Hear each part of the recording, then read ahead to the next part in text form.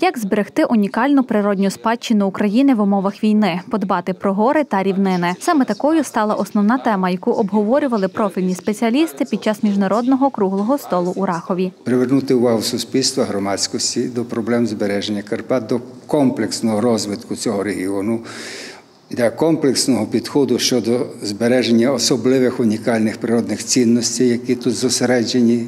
Наші колеги і Вільям Піхлер, і Степан Кухарчик, і Егерер говорили про те, що це є серце Європи, якраз цей регіон, і тут зосереджені унікальні природні цінності.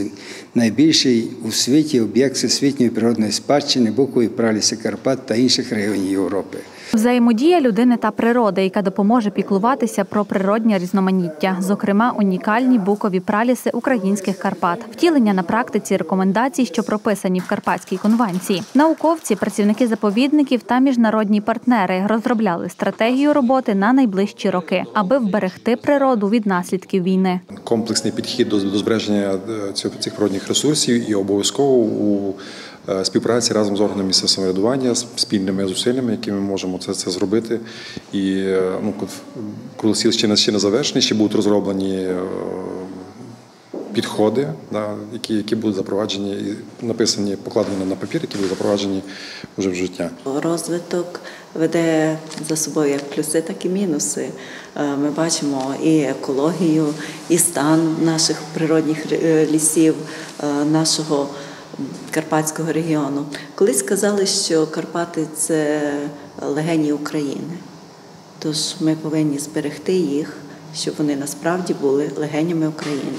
Поділилися і практичними рекомендаціями, які вже активно впроваджують у трьох областях, через які простягаються гори Карпати. На протязі останніх років ми можемо констатувати, що площа е, суцільних рубок зменшується, і то зменшується досить суттєво. Якраз е, е, передумовою для цього чи сприяє цьому дотримання.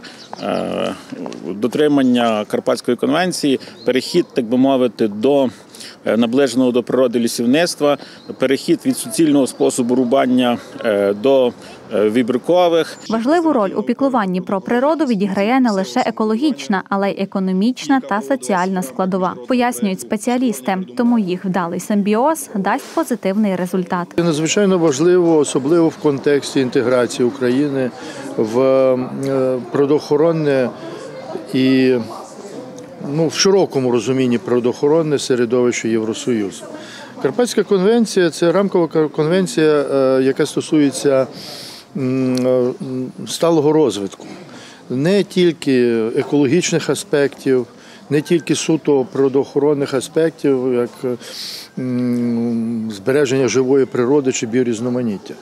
Е, Вона стосується сталого розвитку громад, сталого розвитку транспорту, як освіти і багатьох інших аспектів. Тобто і економічна І економічної ситуації, е, економічних е, перспектив. Загалом пріоритетні напрямки екологічної політики в регіоні задекларовані у Карпатській конвенції, яка покликана консолідувати зусилля усіх карпатських країн, спрямованих на збереження та екологічно збалансований розвиток Карпат.